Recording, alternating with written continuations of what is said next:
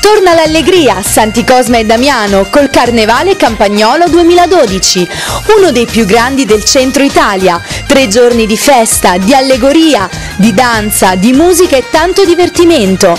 Un appuntamento a cui non si può mancare. Sfilata di carri allegorici, parata di gruppi coreografici e per i buon gustai tanti prodotti tipici locali. 12, 19 e 21 febbraio in località Campomaggiore a Santi Cosma e Damiano in provincia di Latina.